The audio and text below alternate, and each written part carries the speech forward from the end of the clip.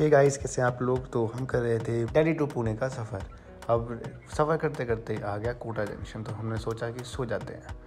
सो के उठे, सुबह सुबह उठे तो देखा हमने ये सूरत का गरम नज़र। अब दो घंटे ही बचे थे हमारे बांदा टर्मिनस पहुँचने के लिए। अब बांदा टर्मिनस पे उतरते ही हमने लिया ऑटो दादर बस स्टॉप के लिए और चढ़े गए बस में। महाराष्ट्र डिपो की बसें काफ़ी कंफर्टेबल थी और हमने घर का लाया हुआ थोड़ा खाना, खाया था कि बस चलने लगी।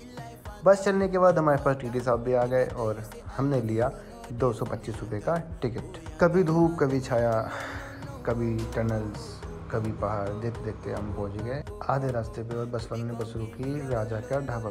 यहाँ पर हमने लिया वड़ा पाव और किया उसको टेस्ट हालाँकि मेरे पर्सनल व्यूज़ हैं कि मेरे को वड़ा पाव ज़्यादा टेस्टी नहीं लगा। तीखा ज़्यादा ही था मेरे हिसाब से और फिर लोंगे वाला की वादियाँ देखते हुए हम पहुँच गए पूना।